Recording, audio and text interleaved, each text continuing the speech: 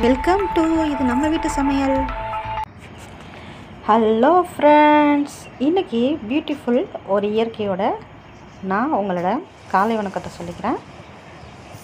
Beautiful இயற்கை.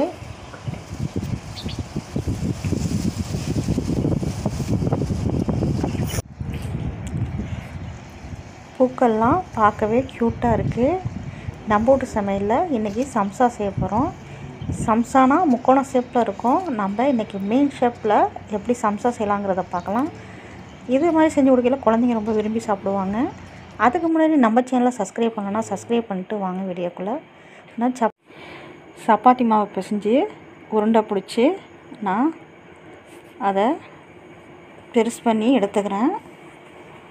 இப்போது round ஷேப்பில் கட் பண்ணுற மாதிரி நான் ஒரு குவலையை வச்சு கட் பண்ணிக்கிறேன். நான் எப்படி கட் பண்ணுறேங்கிறத பாருங்கள் இது மாதிரி ரெண்டு பீஸ் வெட்டி எடுத்துக்கோங்க.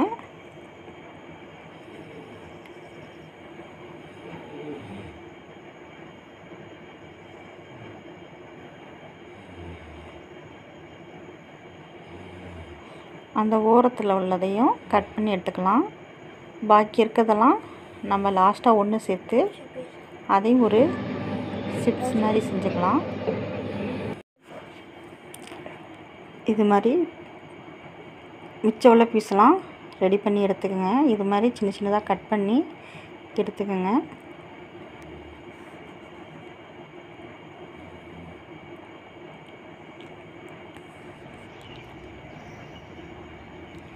சட்டிக்கு நல்லா காஞ்சிருச்சுங்க. நான் ரெண்டு ஸ்பூன் ஆயில் விட்டு வச்சுருக்கேன். ரெண்டு வெங்காயம் கட் பண்ணி வச்சுருக்கேன். அதை சேர்த்துக்கலாம். ஒரு பச்சை மிளகா ஒரு கேரட் இப்போ இது ரெண்டையும் சேர்த்துக்கலாம். இப்போது நல்லா கிண்டிக்கலாங்க. உப்பு போட்டுக்கலாம். கால் ஸ்பூன் பிரியாணி மசாலா. கால் ஸ்பூன் மல்லித்தூள். கால் ஸ்பூன் மிளகாய்த்தூள். லைட்டாக கிண்ணா போதுங்க. ரொம்பலாம் வதக்க வேண்டியதில்லை. இப்போது ரெடி ஆகிட்டுங்க எடுத்துக்கலாம் ஒரு பவுலில்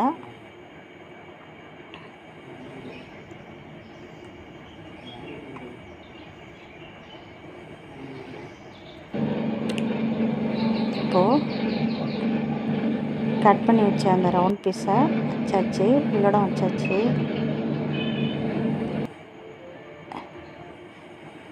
மைதா மாவை லைட்டாக தண்ணி ஊற்றி கலக்கி வச்சுருக்கேங்க.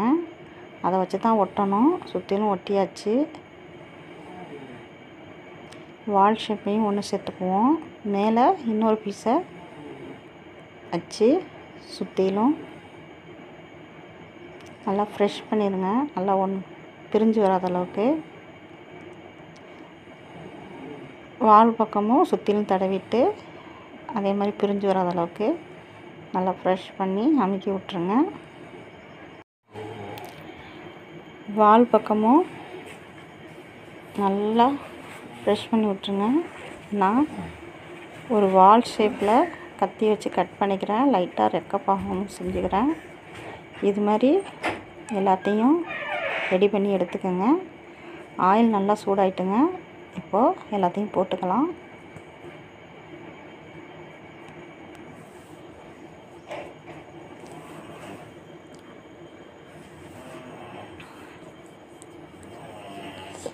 லைட்டாக எண்ணெயை தெளித்து விட்ருங்க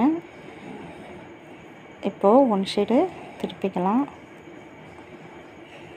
இது மாதிரி எல்லாத்தையும் திருப்பி விட்ருங்க இப்போது நல்லா மெரூன் ஷேப்பில் வெந்து வந்துட்டு எடுத்துக்கலாம். பாக்கி உள்ள அந்த ஃபீஸ்லாம் கட் பண்ணி வச்சுருந்தோம்னா அதையும் பொறிச்சு எடுத்துக்கலாங்க. ரொம்பவும் சுவையான சம்சா ரெடி ஆகிட்டுங்க இது மாதிரி டிஃப்ரெண்ட்டாக செஞ்சு கொடுக்கல குழந்தைங்க ரொம்ப விரும்பி சாப்பிடுவாங்க.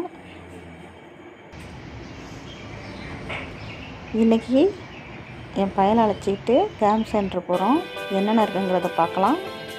பாருங்கள் பார்க்கவே ரொம்ப க்யூட்டாக இருக்குது இங்கே என் பையன் என்னென்ன கேம் விளையாடுறாங்கிறத பார்ப்போம்.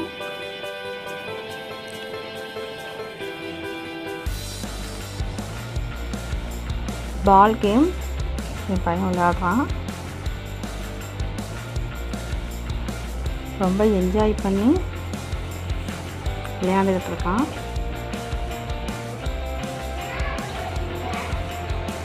இது கார் ரேஸ் கேமுங்க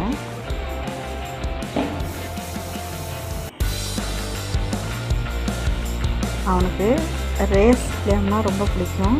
ரொம்ப லைக் பண்ணி விளையாண்டான்.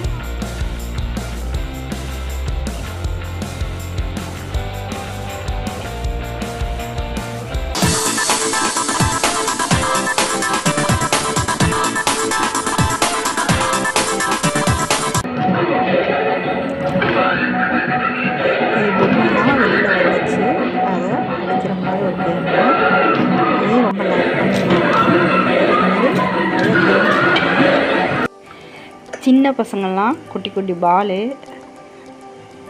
அது மேலெல்லாம் படி மாதிரி இருக்குங்க. அதில் ஏறி ஏறி விளையாடுற மாதிரி.